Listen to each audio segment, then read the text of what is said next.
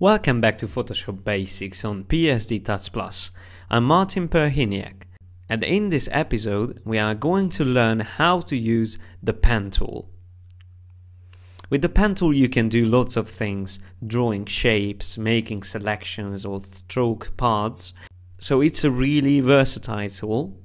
But first let's see how to work with it and the first example is how to draw shapes. The pen tool is here in the toolbar in the section for vector tools. So now I select the pen tool and then you need to check the options here in the control bar. You can draw shapes or draw paths. These are the two first options. I will now draw shapes and for that you can choose a color that you would like to use for the shape. I will use a yellow color for this because I would like to draw this star shape. Now if you use the pen tool and click, you create an anchor point. If you click again on another point, you create a straight line. If you click again, you start to see a shape for after the third point. And if you continue clicking, you will create the shape itself by just simply clicking on these points. Now here we don't see the last point, but if we turn down the opacity of this layer a bit while we are drawing, we can easily finish the drawing by clicking here and then clicking on the first point to close the shape. After that I can turn back the opacity to 100. So that's a really fast way to use the pen tool to create straight lines and to create a shape. You can use the white arrow tool, which is the direct selection tool, to select points of this drawing separately and to move it around, make the shape even better, like this.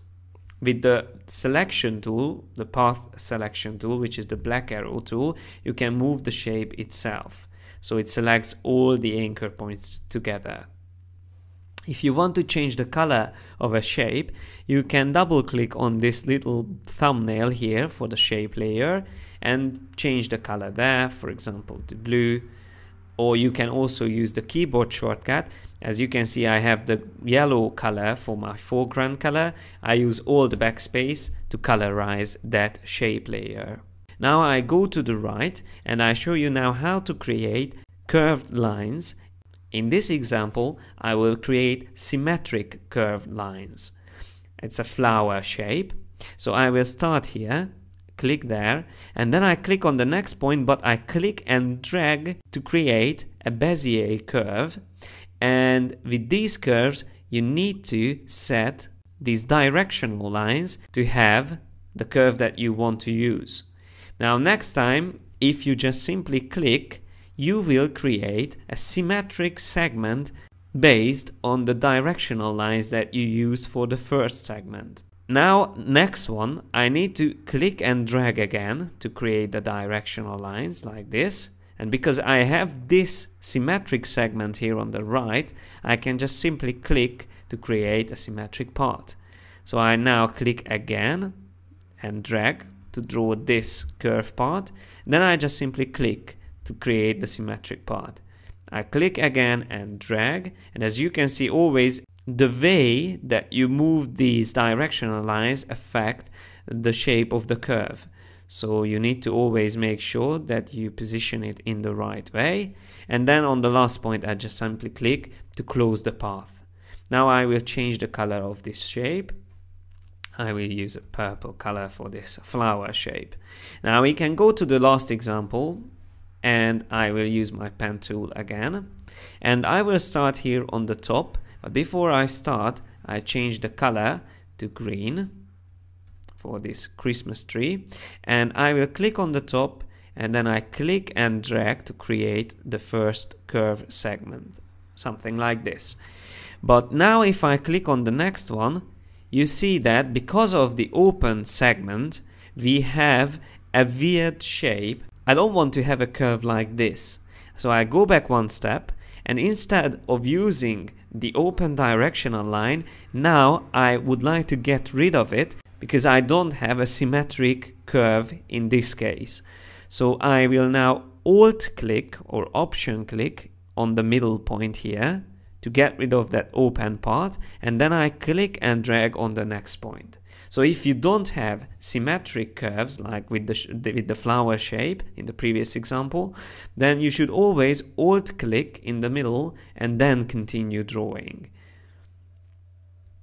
And I will do the same here, continue drawing this shape, alt click, click and drag, alt click in the middle, click and drag, and I show you another useful keyboard shortcut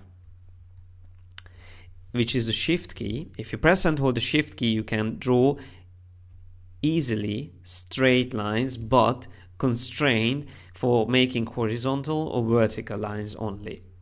After that, I let go the shift key and I now click and drag to create a new curve. Then I alt click again and now I again turn down the opacity of the layer to be able to see these points here and to continue creating the shape. So I click and drag and then I alt click in the middle, click and drag, alt click, click and drag, alt click, and then I click and drag up and that's the end of the closed shape. So now I turn back the opacity and I just change back this color to magenta, for example, like this. So this is a quick and fast way to work with the pen tool and to draw with it. And to tell the truth, this is only what you need to know about the pen tool. So again, the useful keyboard shortcuts are the shift and the alt, but you can also use the control or command keys to move anchor points while you are drawing if I have the pen tool selected and I press command, I will have the selection tool and I can move these points around. When I let go the command or control key, I get back to the pen tool. I would like to show you another example with the pen tool, how to create selections. And I will do that with this box here on the left. In some cases, the background is very similar in colors to the foreground, so if you would like to select it with other tools, it will be difficult. But you can also use the pen tool to create selections. The only thing that you should do is to switch to path drawing mode instead of using the shape drawing mode. So that's the second option here. I select that and I start clicking on the edges of the box quickly to make the selection with the pen tool. You can even draw curved lines, but in this case, I just need straight lines. And it's a bit difficult to see what I do because of the background, but you will see in a moment the end result. So I have the path and we also have a path panel where we can see the work path if you right click anywhere with the pen tool, you can choose this option called make selection. And it will, if you click on OK, it will turn the path into a selection.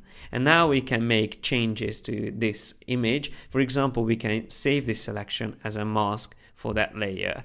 And now we hid all the other parts of the image. You can practice with the other part of this image and try to select the printer. There you will need to use also curved lines, not just straight lines. And the last example is how to stroke the pen tool's path. I will draw quickly a path around the mountain here.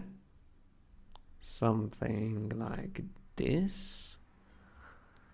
I use curved segments okay so something like this. You you not you don't really see this yet but I will now switch to my brush tool.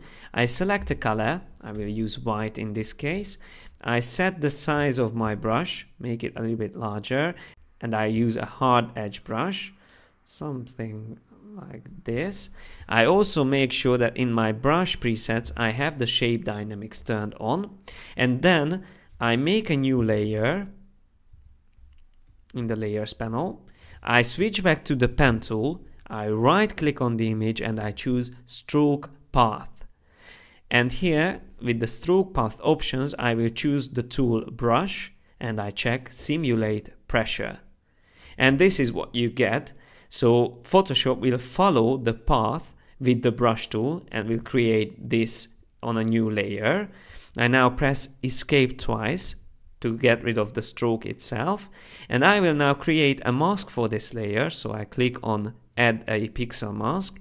Then I select my brush tool and I will draw over one part of this path. For example, here on top of his face, I will draw over that part with black like this. And then I will also draw over this part here just to hide it quickly. I zoom a little bit closer something like that.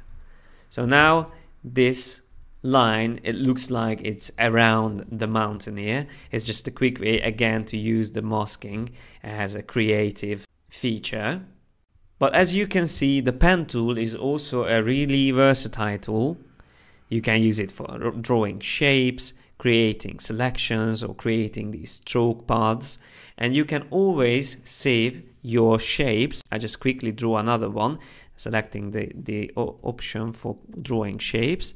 So if you draw a shape, you can always save that by going to the edit and choose define custom shape option.